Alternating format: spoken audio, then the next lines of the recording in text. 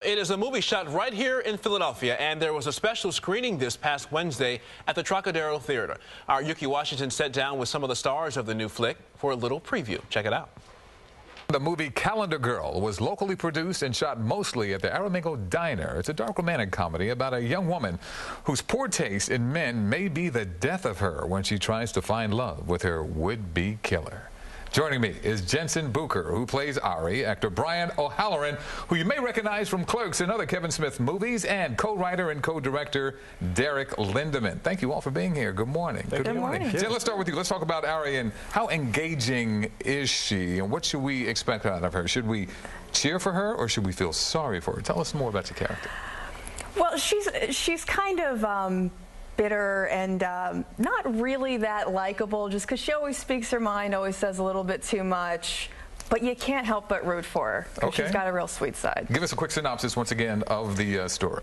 Um, there is a serial killer loose in Philadelphia, and every month he stalks and kills a different girl. And now this is December, and he writes a letter to the press um, that describes his next victim. And my character Ari reads the letter mm -hmm. and is convinced that the next victim is going to be her, and she's a little bit flattered by it. Okay, okay, ooh, all right, got me going already. Brian, tell us how that guy next to you, D, brings out the best in you and Jen and the rest of the characters. What does he bring to the table? A lot of meth. Less of meth. um, no, uh, you know, uh, when they when they approached me to do the role um, to play this director, because uh -huh. now that the uh, the media has gotten a hold of this serial killer story, mm -hmm. it's it's always inevitable that the TV of the week type of true life story is made about something that has happened sure. in real. Mm -hmm. So I'm the director of the the now made to life TV movie of the week, and so uh, he asked me to portray this this actual director who's probably been on a heroin binge for like five days, and he's trying to get this project done. So I play this small little cameo in the film that uh, I think people will enjoy. Fantastic. Derek, what about the the origin of this story, the, the mindset of it all? How did you come up with this, or partly come up with this? Uh, well, I was, uh, this was a script that has been kind of floating around a while. A young woman named uh, uh, Faith Brody had written it uh, when she was in college.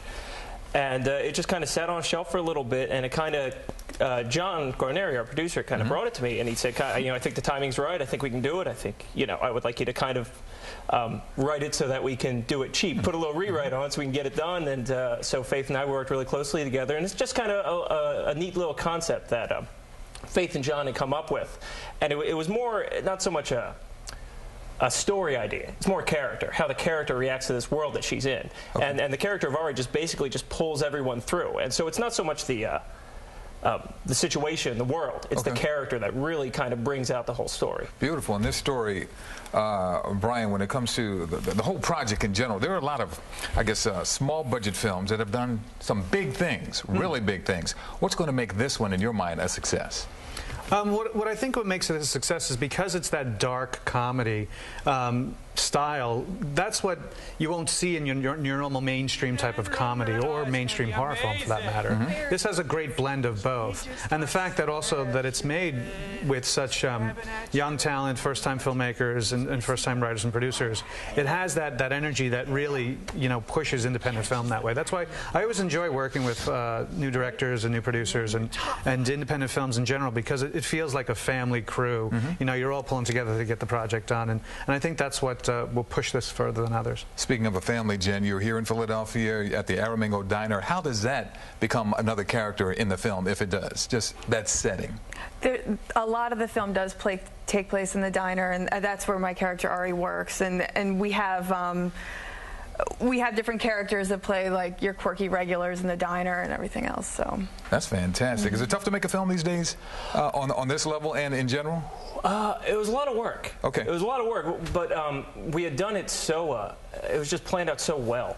Um, and you know they kind of say in business, you know, film is a business. And they say in business you can get it good, fast, and cheap. We can only pick two.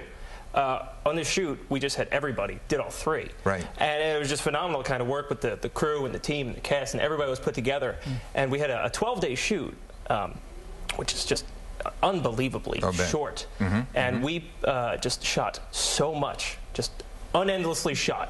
If there was people on set, the camera was rolling. And, and what we have is just, uh, it's extremely impressive. We've got about 10, 10 seconds left. Tell me where this goes now after the test screening.